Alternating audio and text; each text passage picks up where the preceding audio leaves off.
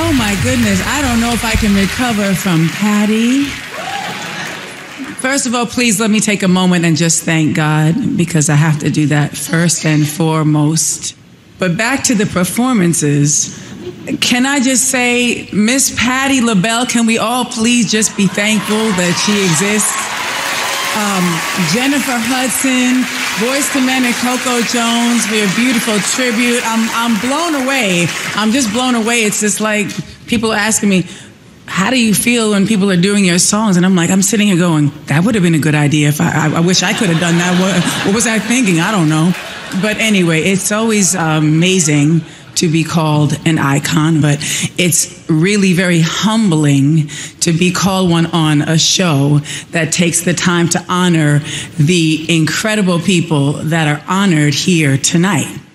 I grew up watching so many of tonight's honorees and aspired to even be somewhere close to close enough to breathe the rare air of their presence. So you can imagine how special this is for me.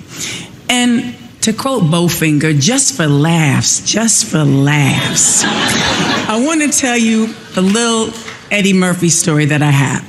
Okay, he's like, what is she doing? But this is what I have to do. Okay, okay, okay. So this is what happened. So when I first released my very first single, Vision of Love, I was at the airport and barely anybody had he- heard of me or seen me or anything like that. And somehow I snuck away from my first ex-husband and um, wound up, it's true, and, and, wound up in an airport store uh, when suddenly I looked up and Eddie Murphy, my favorite star of all time, said to me, the unknown girl who had one song, maybe they spun it three times on some one station somewhere, I don't know. But he goes, Hey, aren't you Mariah Carey? And I'm like, Okay, I can do a couple things here. Um, I, I, I, I, can act like that didn't just happen, it's perfectly normal. Or I can, um, I don't know what. So I just, I don't know, maybe I was in shock or something, but I just looked right at him and I said, Aren't you Eddie Murphy? Like, so obnoxious, rude. I was mortified and, and, and I, I just did it, you know? And then, and then, and then every time I would see him, I would like rehash the story again.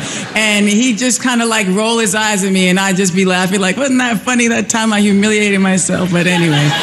Um, anyway, I've spent my lifetime uh, creating and, and writing music. At first as escapism when I was a child, and then to make a living. And now it is my entire existence. At a very young age, I found myself in the middle of this business of music, they call it. While it's become my profession, I'm in this industry because music is part of my soul.